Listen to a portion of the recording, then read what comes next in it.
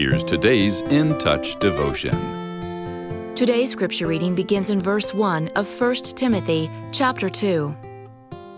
First of all, then, I urge that requests, prayers, intercession, and thanksgiving be made in behalf of all people, for kings and all who are in authority, so that we may lead a tranquil and quiet life in all godliness and dignity. This is good and acceptable in the sight of God our Savior, who wants all people to be saved and to come to the knowledge of the truth. For there is one God and one mediator also between God and mankind, the man, Christ Jesus, who gave himself as a ransom for all, the testimony given at the proper time. For this I was appointed as a preacher and an apostle. I am telling the truth, I am not lying, as a teacher of the Gentiles in faith and truth.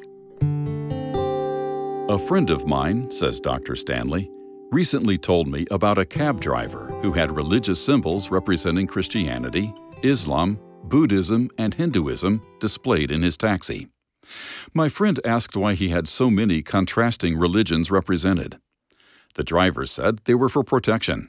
When asked which one served that purpose, the man said, I don't know, but I want to be sure that one will work, so I have all of them.